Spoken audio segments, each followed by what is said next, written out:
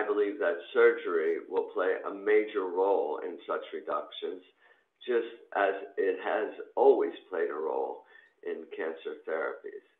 What I will discuss in my lecture is this revolution, what it means in terms of the genetics, and mainly how we, we and others, everyone who's interested in cancer, can contribute, knowledge uh, to develop new therapeutic or diagnostic options.